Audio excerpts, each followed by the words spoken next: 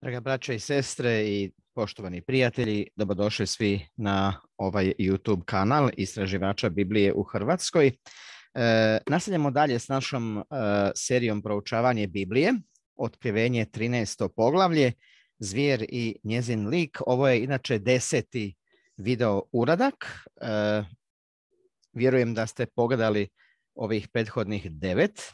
Ako niste, onda vas potičem da to učinite. Znači, zadnji put sam u ovom zadnjem video uratku najavio da ćemo danas u proučavanju 13. poglavlja otkrivenja e, se upoznati sa e, jednom drugom zvijeri, zvijeri sa dva roga. E, to je dakle drugi, da kažemo, igrač u cijeloj ovoj drami. Znači, prvo smo se upoznali sa zvijeri sa deset rogova, a ovo je opet sad zvijer sa dva roga. Jel?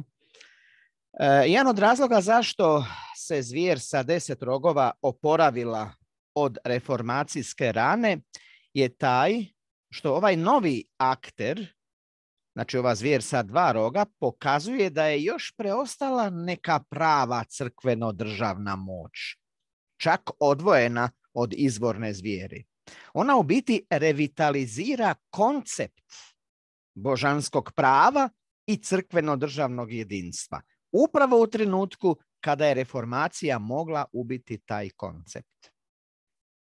Pa evo ako ste u prilici da me u vašoj Bibliji pratite, možemo zajedno dalje nastaviti, znači otkrivenje 13. poglavlje, 11. redak gdje Ivan znači uvodi i upoznajno su stvari sa tom novom drugom zvijeri. Jel? On kaže ovako, zatim sam vidio da jedna druga zvijer izlazi iz zemlje. Imala je dva roga kao janje, ali je govorila kao zmaj. Eto ovdje kad Ivan kaže zatim sam vidio, e, to je opet jedna od očitih podjela Ivanove priče. E, kad smo započinjali ovo proučavanje, ja sam bio to spomenuo, da kad god to pročitamo u otkrivenju, kad on to kaže, zatim sam vidio. To je sada uvod u nešto novo. Jel? I sad što je to novo? Jel? On kaže da jedna druga zvijer, znači nešto slično prvoj zvijeri, stoga je nazvana jedna druga zvijer. Naime, ovo je također crkveno državno carstvo. Kaže da ono izlazi iz zemlje. Znači, vidite, ova zvijer, ovo crkveno državno carstvo, za razliku od prvoga, nije rođena iz kaosa u carstvu. Znači, ne izlazi iz mora, koje predstavlja nemirno čovječanstvo, već naprotiv evoluira prilično glatko iz postojećeg društva ili zemlje. Zemlja predstavlja društvo. Jel? Zapravo to je odcijep od postojećeg svetog rimskog carstva. Dalje čitamo. Imala je dva roga znamo šta rogovi predstavljaju sile. Jel? Znači, postojale su dvije političke sile koje su pružale podršku ovom crkveno-državnom carstvu.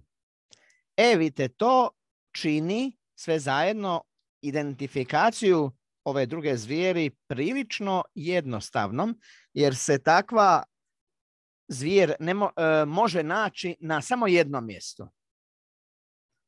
Iako je Engleska i Irska crkva bila službeno tako poznata tek oko 70 godina tijekom 19. stoljeća, njezina karakteristika dvije sile dovoljna je da je identificira. Funkcionirala je kao crkva ove dvije zemlje više od 300 godina. Također je važno imati na umu da ova zvijer nije crkva Engleske i Irske. već crkveno državni sistem ovih dviju zemalja zajedno. I kaže kao janje, jel? E, ovo je očito e, opis koji je dat kao kontrast prvoj zvijeri koja je bila slična leopardu.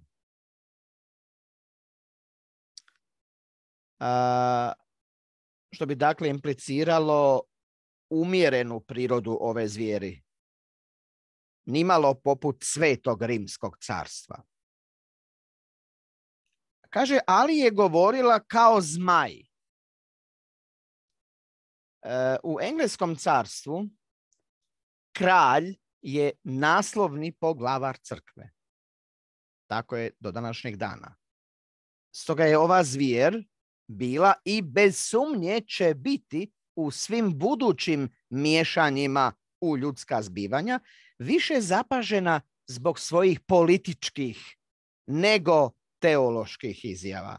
I mislim da bi tu trebali, e, znači svi mi koji proučavamo proročanstvo, ovoga obratiti posebnu pozornost baš na tu frazu, ali je govorila kao zmaj. Čini se da je jasno, znači da se kaže da bi sekularni angažman Engleske imao više veze sa proročanskim ispunjenjem nego e, religiozna dogma njene crkve. To imajmo na umu. To je očito e, ovdje istaknuto.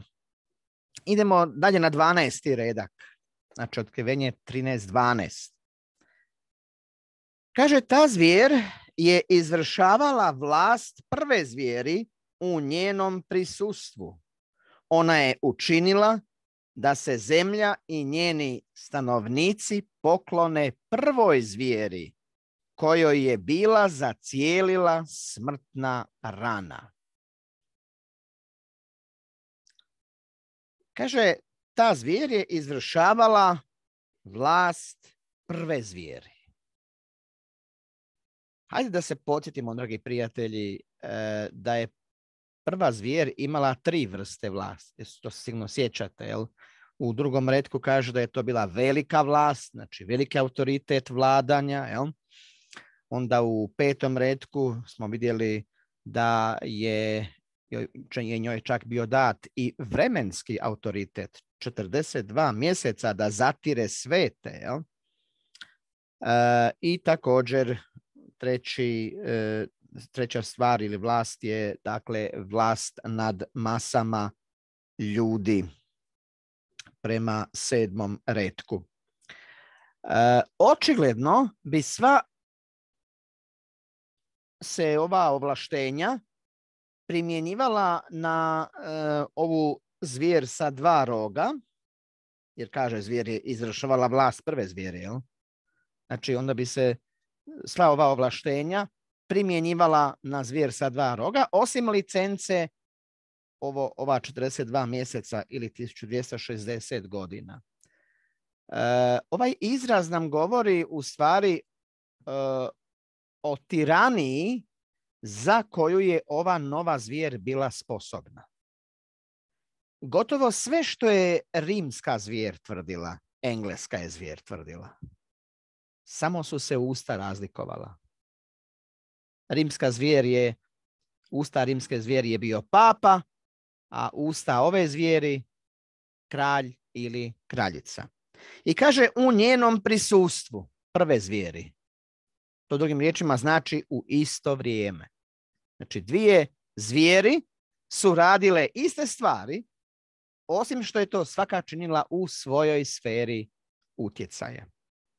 I kaže, ona je učinila da se zemlja i njeni stanovnici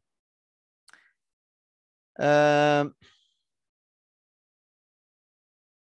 naime, društvo i oni koji u njemu imaju udjela. Znači, zemlja i njeni stanovnici.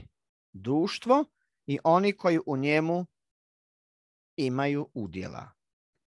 Društvo se je moralo prilagoditi.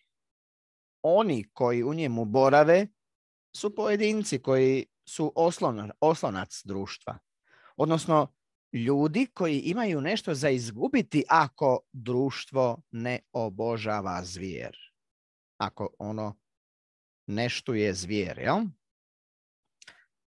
ta potreba za sukladnošću kako bi se očuvao status quo je ono što je potaknulo progon neistomišljenika, a što će ih najvjerojatnije opet potaknuti u ne tako dalekoj budućnosti. Engleske izbjeglice u Ameriku tijekom tog razdoblja pokušavale su pobjeći od ovog društvenog konformizma i njegovih zahtjeva. I tu kaže da se poklone prvoj zvijeri kojoj je bila zacijelila smrtna rana. Kako? Pa primjerom. Druga zvijer ne tjera ljude da štuju prvu zvijer, katoličku zvijer. Ne. Ona želi da je, da je njeni ljudi obožavaju. Ona želi isto poštovanje i štovanje i poklonjenje prve zvijeri koje ima prva zvijer. Jel? Engleska i njeni crkveno državni aranžmani koji se zapravo ne razlikuje e, od svetog rimskog carstva, onemogućio je kritiku rimske zvijeri. Osnivanje engleske crkvene države zapravo je pomoglo svetom rimskom carstvu da se oporavi od teške rane nanesene s reformacijom. Jel? E, kako možete kritizirati svog blizanca? Svojom doktrinom i strukturalnim primjerom zvijer s dva roga promicala je štovanje svog evropskog dvojnika. Evo, hvala vam na pažnji, dragi prijatelji, u ovom zaista zanimljivom e, proučavanju. E, u idućem ćemo video uratku preći na 13. redak e, u ovom proučavanju. Do našeg idućeg vam susreta želim Boži blagoslov.